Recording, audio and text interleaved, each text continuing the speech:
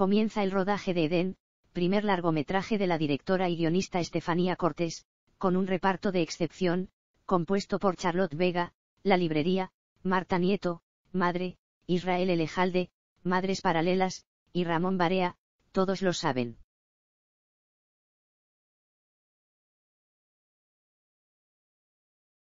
La ópera prima de la realizadora madrileña, un drama psicológico, aborda la historia emocional de cuatro personajes muy distintos pero con un objetivo común, acabar con su dolor.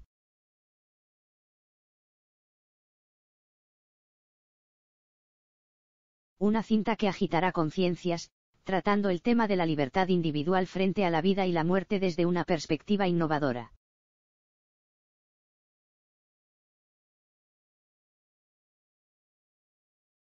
Sinopsis La cinta narra la historia de Marina, Charlotte Vega, una joven que lleva tiempo intentando escapar de los fantasmas que la persiguen tras un trágico evento.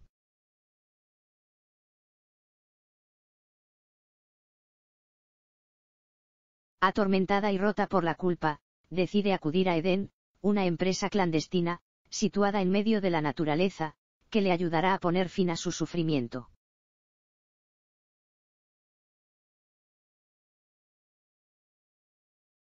Rodada íntegramente en localizaciones de Aragón, la película está producida por Montreux Entertainment, La Caña Brothers, La Colmena y el con la participación de TVE y Aragón TV.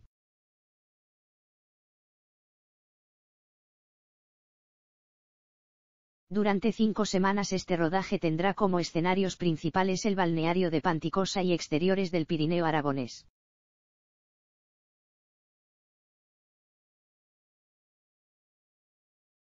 Un largometraje de autor intimista y reflexivo La culpa, la soledad y la libertad sobre uno mismo son algunos de los temas que analiza este largometraje de autor, intimista y reflexivo.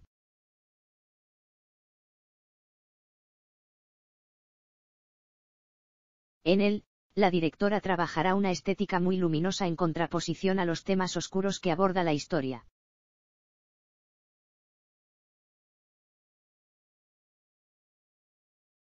Estefanía Cortés lleva más de una década tras la cámara.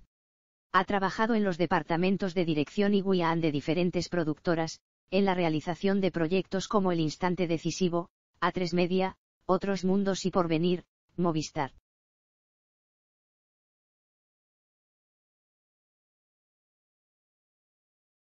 La realizadora, que también firma el guion de Eden ha escrito y dirigido los cortometrajes Moire, 2014, protagonizado por Inma Cuesta, Yerbabuena, 2016, con Ingrid Rubio, y Miss Wamba, 2017, con Ruth Díaz.